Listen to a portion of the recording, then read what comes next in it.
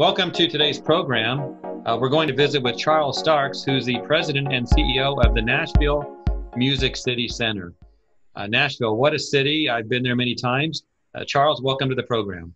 Thank you very much, Jeff. Uh, our pleasure. And so uh, certainly look forward to having you back in Nashville sometime soon. So I, I, definitely will end up there again. I've spent many many hours walking downtown and doing things around Nashville. Uh, so what have you been up to, Charles? You been golfing or anything, or doing something with social distancing? Well, you know, fortunately, golfing is one of the things that they uh, actually have encouraged that you can get out and do. And so, with the the lack of business we have right now, I actually have done a little golfing lately. I don't know my game has improved much, but uh, I certainly have a great time. And I had this whole garage full of golf balls, so I'm good for a while anyway. So. Uh, yeah, a little bit of that, but uh, but I, I, still come into the. I'm at the office every day. We don't have many of our folks that are here every day. Most are working remotely, but uh, so in the office. But yeah, getting a little bit of golf in, and uh, we're having another hot summer like most of the country is. So uh, absolutely, you get it. Try to get out there early if you're going to play golf right now. That's for sure. Yeah, I love golf, and I I am known as someone who contributes many golf balls to the local courses. So. Yeah. Yeah, I think I, I think some of the kids follow me around just picking mine up. Yeah, so if I buy them, I, I they know they're going to get them back. So, yeah. well, listen, tell us about Nashville Music City Center, your facility. Uh, you got some big names that play there, or? Yeah, we're you know Jeff, we're you know when we were, were designing this building, we're we're a little over seven years old, and so this was a new center that was built right in the heart of downtown that replaced uh, an existing convention center we'd had that served our city very, very well for you know 25 plus years, and we just needed a bigger space. And so we were able to you know come in, get some land, and build this building downtown. And and part of what we said was that we really want to be to be able to compete for a market that's you know kind of 80% of the marketplace of conventions and all but then there's a number of things that were important to us. And, and, and so one was that we wanted something to set downtown that number one didn't look like a big warehouse because these are big buildings. We're on a little bit over 16 acres of land. We wanted to be heavily engaged in the community. We wanted to be sustainable. Uh, we, we achieved LEED Gold uh, certification, so we're very proud of that and we're able to do on sustainability front. But the other thing we said is that instead of calling it the Nashville Convention Center, you know, our brand is Music City as for the city. And so that's why we named it Music City Center. And part of what we did is we've got a ballroom that's uh, a little over 57,000 square feet. And then our exhibit hall, which is 353,000 feet. But we designed that acoustically so that we could do live music performances here. And we've been honored over the time. We've done a couple of award shows from here, live from here. Uh, and certainly with some of the talent that lives in Nashville it's been really easy for conventions that have come in to hire some of them to perform for a you know for a reception or a dinner or a general session and, and so we've been pretty honored we've had some pretty big names through here that you don't you know you all, all convention centers see big keynote speakers sure. and all but but in the entertainment side we've had some pretty big uh you know not only just country acts of all all genres and so uh, but we've got a magnificent ballroom to do that in and so uh, we've been, we've been pretty excited about that. So over the years. Yeah, it sounds like a quite a diverse center you have there. Um, and being Nashville, obviously we think music and performances. So, mm-hmm. so uh, you know, you mentioned LEED your your program there, but let's talk about the GBAC Star accreditation for facilities. I re- I know you guys just obtained that, and tell us why you decided to look into this and, and pursue it. Well, I think for, for us, Jeff, it was, and, and as, as, we talked about LEED, you know, so when we were building the building and getting open, we looked at, you know, as LEED as the standard to be able to tell our customers, our community, and our staff, we refer to as team members, that this is a commitment and we think this is a best practice. It's something that we should be doing. I will echo that's exactly what we think about GBAC and the STAR accreditation. So as we learn more about this and, and, and working through it, to for us, for the staff, for our community, and certainly for our customers that are coming in, th- this is the gold standard. And so we said, look, we need to be engaged in this. We want to certainly be able to do what we think are the best things we can do to take care of staff, community, and our customers. And so we thought that aligned certainly with what GBAC is doing. And so we're very honored in this last week to, to, to earn our STAR accreditation and we think that sets the message not only of what we've been doing the seven years we've been open, but what we'll do for many, many years into the future. So we, we look at that as another, uh, as something that, you know, it wasn't really, uh, it wasn't as much that, hey, we need to get this right now for today. We do need to do that, but we think this is something that's going to carry on for many, many years past this. And so we think we need to be a part of that. And that's a, a good, good thing for us to share with, again, staff, community, and customers. So. Yeah, I'm sure your workers, your staff, and visitors will feel better coming there because of this. Uh, and of course, GBAC Star accreditation is now in more than 60 countries, so right. it is it is growing. Uh, tell us about the process of becoming accredited. Uh, what was maybe the most challenging aspect of it? You know, I, I think I think the most challenging is is you know, well, first let me say in the process. No, number one, the the GBAC team has been phenomenal to work with. And, and our folks that have worked directly with them a lot. Uh, and so just kudos to the team at GBAC and all that they've done to help us along the way. They made the process extremely easier for someone like us getting into it. So I want to, I want to thank them there. I think for us, probably one of the more challenging parts is that we started looking at it, and you know what? It's it, it, happens to companies, I think, over time. And I, I used to be in the hotel business, and this is what happens to the hotel side: is you end up with a little bit of what I'd call chemical creep. All at once, you've got all these products, and you're using things, and you're like, "Well, when did we buy that? I don't remember us having that." And so, I think the challenging part for us was understanding what we were what we had. Now, fortunately, we had a lot of chemicals we were using that are really good. That GBAC says this is what you should do we had some other things that we said, how in the world did we get that and where did it come from?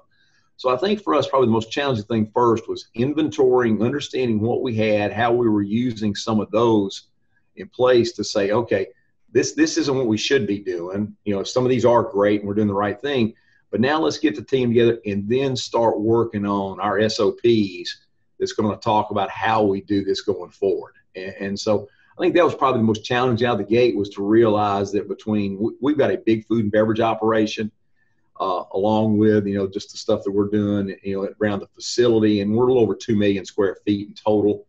So in that kind of a facility to say, okay, let's get all of that pulled together, understand what we have as we go through this accreditation process. So that that was probably the biggest challenge for us internally. Okay, and on the other spectrum, what was the easiest part?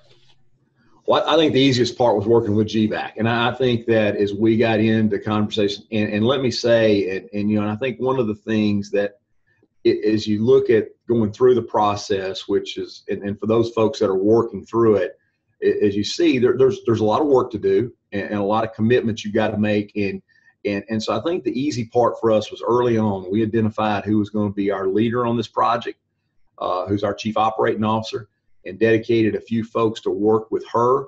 And that's literally what they've worked on for the last few months. Jointly, uh, our trade association, uh, International Association of Venue Managers, IAVM, uh, Lisa Putman, who goes by Put, who's our chief operating officer, she got on the committee with IAVM that's working on GBAC. And so we were able to work not only with GBAC, but with some other buildings going through this and I think that made it extremely easy. Know, a lot of good idea sharing as we work through. So I'd encourage anyone that's looking at this is find some folks that have been through it or that are starting down that road that you can kind of partner with and understand and kind of learn together as you go through it. Yeah, collaboration does help. I've heard that many times from others I've talked to about the program. What's something that you folks do now that you didn't do before that you're going to continue doing, moving well, past the pandemic? Yeah, well, I, I think certainly uh, some of the things that we've brought into the building that we're going to continue doing afterwards.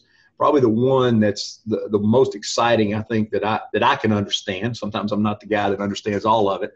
Is is what we're going to do around the ATP testing, so that we can go in, swab an area and look at it and really see in real time. Here's how good of a job we're doing at killing whatever's there, as we disinfect areas and is going to teach us the better way you know how what, what do we need to improve in our processes as we move forward?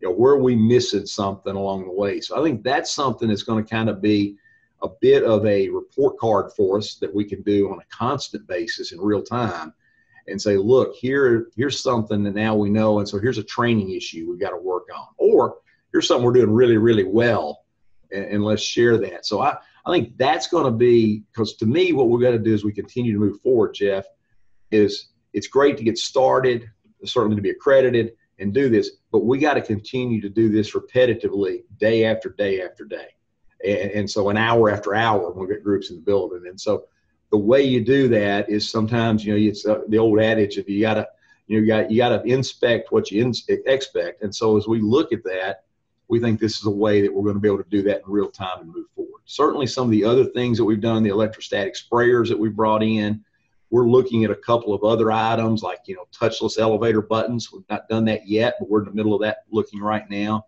There's going to be some capital commitments there that uh, will serve us for many years to come. But I think the main thing is going to be is that we're going to become a way to, to disinfect our building where it is extremely safe uh, for both our customers and our, our team members that are working in the building every day and this becomes part of our way of life, just like sustainability did when we started LEED back in you know seven years ago. What a fantastic plan you guys have. It's it's refreshing to hear your your vision. Uh, one final question. You're part of an association of venues. You mentioned that. Right. If they were to, if some were to ask you, your peers were to ask you, should they go after Star accreditation? What would be your comment? Well, I think they absolutely should. I mean, I, I don't know why you would not do that. I, I, as we talk to, and as, as you know, you've mentioned, it's internationally known. We, we one of the things that we were able to do by moving to this larger facility is we have expanded the group mix that we're bringing into the building. And we have many, many more international attendees than we ever would have had before at our old convention center. And, and so as I look and talking to customers, and I'm on the phone, I'm, I'm heavily involved in our sales activities, and I'm on the phone every day with customers right now, especially right now. Groups trying to decide what they're going to do, and they're coming next spring. What should I be doing? And and let me tell you, one of our lead comments right now after we get past hey good morning how are you is let us tell you about what we just got and what our, our accreditation is with GBAC. Let me tell you what that means to you and to our staff and what it's going to mean for the attendees when they arrive. So I cannot imagine that other venues, whether it be convention centers, hotels, certainly arenas and stadiums and performing arts centers, which are part of the IAVM family, uh, it's going to be a, a way to share to your attendees or customers or patrons to be able to say, here's what we, how strongly we believe that we're going through this rigorous and the 20 steps that you go through, and we're doing that, and we're ready for you. And we want to have as safe an environment as possible. And I don't know why we wouldn't all be wanting to talk about that and, and doing that. I think it's really, I, I don't want to, I, I think it, downgrades it a little bit to call as we would as some, some of us that are older would remember, but the good housekeeping seal. But I think in essence, this is a, the seal that's going to tell folks, hey, we're serious about this. We're taking safety of our attendees from from this type of action just as, as much as are we're taking their physical safety around a facility this size would be. So I, I would I would encourage everyone. Uh, certainly, we have been there. There were a number of, of facilities that helped us and reached out and assisted us. We certainly want to pay it forward.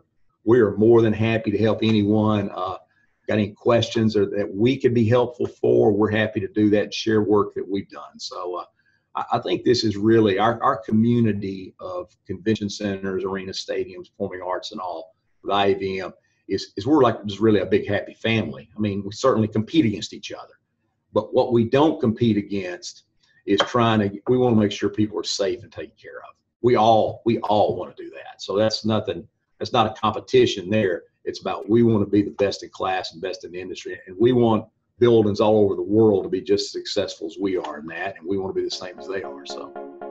Yeah good story and great uh, experience that you're sharing with our audience today